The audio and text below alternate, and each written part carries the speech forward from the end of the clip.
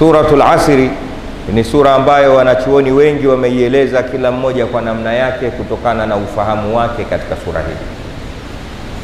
Imamu na Shafii rahmatullah alayh, baada ya kuisoma na kuisomesha Suratul Asri, alifikia pahala akasema, Qurani yote lau isingeshushwa ila sura hii moja tu ingetosha. Sura mia moja na kumi na nne zile mia na kumi na tatu zote zisingekuwepo, ingekuwa hii wal asri ingetutosha sana. Wal asri, Mungu anasema na hapa kwa nyakati zote, innal insana lafi khusr, hakika wanadamu wote unaowaona yoyote yule yupo katika hasara kubwa, illa alladhina amanu, isipokuwa wale tu wenye sifa ya kumwamini Mwenyezi Mungu na mtume wake Muhammad, wa amilu salihat, na wakafanya mema maisha yao yote, watawasau bilhaq watawasau bisabr, na kawa wanahusiana juu ya mambo ya haki na pia wakahusiana sana juu ya kusubiri.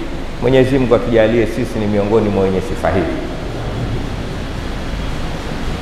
tumwamini Mwenyezi Mungu ukweli wa kufanya hivyo, lakini pia isiwe imani kibubusa, imani kavu, bali imani ambayo ndani yake ina utendaji wa mambo mema. Kila kile ambacho tunakiona hiki kinatusaidia katika wema tukifanye, lakini pia tuwe na desturi ya kuhusiana juu ya haki. Yeye Mwenyezi Mungu ni haki, Uislamu ni haki Mtume Muhammad sallallahu alaihi wasallam ni haki, Qurani ni haki, na kila haki iwe tukikaa mazungumzo yetu katika vikazi vyetu, kazi zetu, mipango yetu, tuwe tunahusiana sana juu ya mambo haya, lakini kikubwa pia tuhusiane juu ya kusubiri, hususan katika nyakati hizi ngumu. Maisha yamebana, biashara hazendi, lakini pia maradhi ni mengi, kila uchao tunapokea jina jipya la magonjwa. Mwenyezi Mungu atujalie kuwa ni miongoni mwa wenye kushika suratul Asr. Barakallahu li wa lakum bil Qur'anil azim wa nafa'ani wa iyyakum mimma fihi min al ayati wa dhikril hakim aqulu qawli hadha wa astaghfirullah al azim li wa lakum wa lisaili al muslimina wal muslimat fastaghfiruhu innahu huwal ghafurur rahim wa huwal barrul karim. Ud'u Allah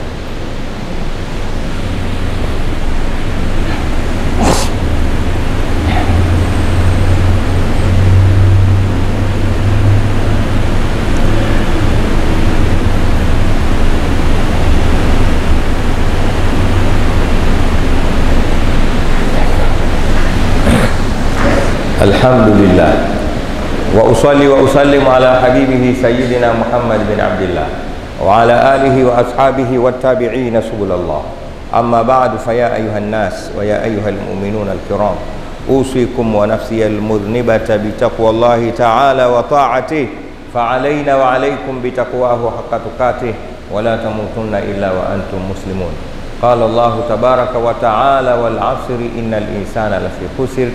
illa alladhina amanu wa amilu salihat watawasau bilhaqi watawasau bisabr.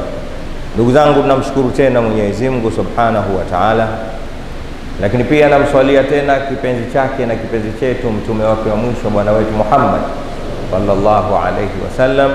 Narudia kwa mara ya pili kuwahusia juu ya kumcha Allah subhanahu wa taala. Allah Allah, tumcheni Mwenyezi Mungu, ukweli wa kufanya hivyo kwa sababu mafanikio yetu ni kwa kumcha Allah subhanahu wa ta'ala, na kuanguka na kufeli kwetu ni kuacha kumcha Allah subhanahu wa ta'ala. Mazungumzo yetu ni yale yanayogusiwa katika suratul Asri, ambapo Mwenyezi Mungu subhanahu wa ta'ala anazungumza kwamba binadamu wote wapo katika kasara, ila hawa watu wenye mambo manne: wanamwamini Mwenyezi Mungu, lakini pia wanafanya mambo mema, lakini pia mazungumzo yao yanatawaliwa na kuhusiana juu ya haki, lakini pia wanahusiana sana juu ya kusubiri. Ngazi nne hizi mtu akijaliwa kuwa nazo zinamtosha sana katika maisha haya, hata asiposimama usiku, lakini akaishi wakati wote na mzunguko wa mambo hayo, akawa anajipekua. Hivi, mimi ni muumini kweli amali zangu nazozifanya ni njema na zinanitosha, lakini nini mchango wangu katika jamii kuhusiana na haki na kuwasubirisha? Mwenyezi Mungu atujalie katika hao. Ukisikia mtu amefanikiwa katika hao waliopita, ukiwataja wana majina makubwa kiasi ambayo majina yao ukiyasikia unaweza kudhani wao walikuwa na miili mikubwa kama msikiti, wao walifanikiwa kuishi na suratul Asr, na huenda walikuwa na vijimiili vidogo, sura na vichwa vyao vidogo, hata mwonekano mwonekano wao haukuwa wa kuvutia kama sisi. Huenda pia hawakuwa wakivaa vizibao na kazi nyeupe, walikuwa ni watu wa kawaida sana, lakini waliishi. Nikupe mfano mmoja wakati wa mmoja wa watawala waliopita katika Bani Muawiya aliwahi kuingia katika sahatul almataf katika Alkaaba kwa ajili ya kufanya umra.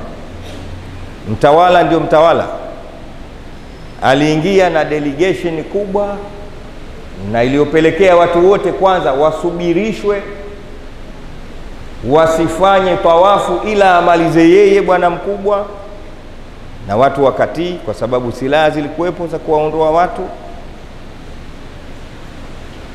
Alivyomaliza, kabla hajatoka, akaingia mtu mwembamba, sura yake pia sio ya kuvutia, akaanguka katika alkaba ile. Yeye hakuja na silaha, hakuja na alkaba, hakuja na mpambe wala hakuja na bausa lakini yeye mutlaka wa kuweka mguu wake katika eneo la kutufia, watu wote walimpisha kwanza atufu yeye,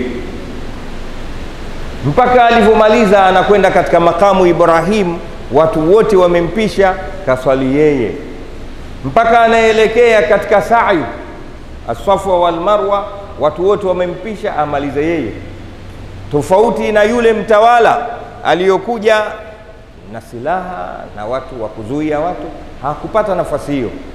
Wengine walifukuzwa, lakini wengine walimzagaa, akashangaa, huyu nani na mimi nani? Wakati anauliza ni nani huyu?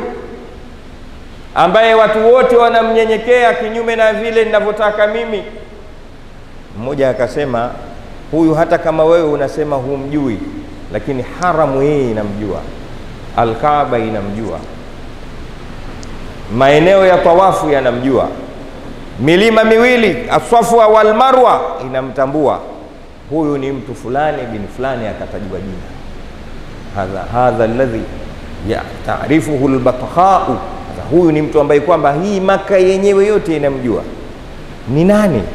Ni mtu ambaye aliishi na suratul Asr. Njia gani wenzetu walifanikiwa? Chukua na maliza hutuba hii na wewe ukajisaidie katika maisha yako pamoja na mimi, ili nasi tufikie katika daraja hii. Wenzetu walikuwa na maneno yao na mtizamo wao wa hii dunia, hawakuitaka mno dunia, hawakuipenda kiasi ambacho wakakosa usingizi hii dunia. Waliishi na maneno ya Mtume Muhammad sallallahu alaihi wasallam, izhad fi dunya yuhibbaka Allah wazhad fima inda nnasi yuhibbaka nnas.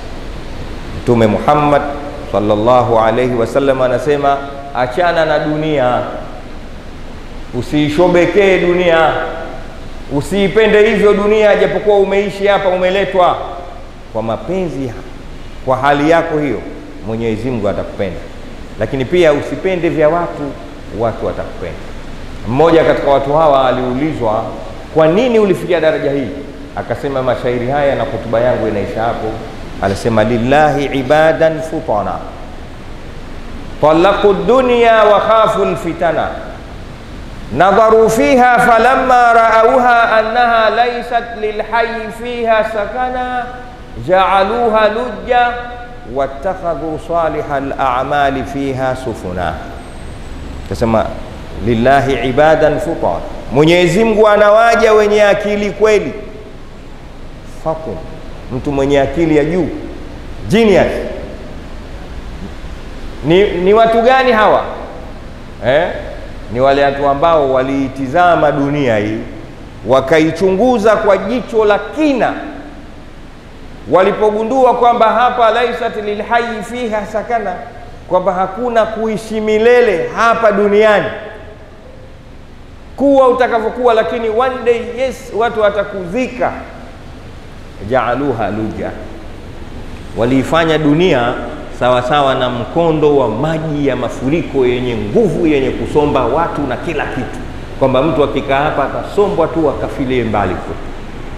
Wao ndio mtizamo wao dunia. Hawakuiona dunia ni sehemu ya starehe. Waliiona dunia ni maji makali ya mafuriko yanayosomba kila kitu. Waliishi vipi? Baada ya kugundua hiyo wakasema lazima tuvuke katika mkondo huu wa maji makali. Jahazi ni nini ittakhadhu saliha lamalu fiha sufuna. Matendo yao mema yaliyotajwa katika suratul asri ndo yakayageuza ni jahazi la kuvukia hapa. Wakavuka hapa duniani kwa jahazi linaloitwa amalun salih. Mwenyezi mungu atujalie katika hayo. Wakavuka katika mkondo huu wa dunia kwa kutumia amalun salih. Na wewe ndugu yangu jitahidi na mimi nijitahidi kila siku tutengeneze majahazi mapya nayo ni matendo yetu mema ili tupate kuvuka katika mkondo huu wa dunia mafuriko makali yanayosomba kikubwa na kidogo kuenda kuyatupa katika bahari ili watu wapate kuangamia. Inna allaha wa malaikatahu yusalluna ala nabi. Ya ayuha alladhina amanu sallu alayhi wa sallimu taslima اللهم صل وسلم على سيدنا محمد بقدر حبك فيه وزدنا يا مولانا حبا فيه. بجاه عندك فرج عنا ما نحن فيه. إلهي لا نسألك رد القضاء بل نسألك لطف فيه. وعلى آله وصحبه وسلم. وارض اللهم عن جميع صحابة رسول الله محمد صلى الله عليه وسلم. منهم سيدنا أبي بكر الصديق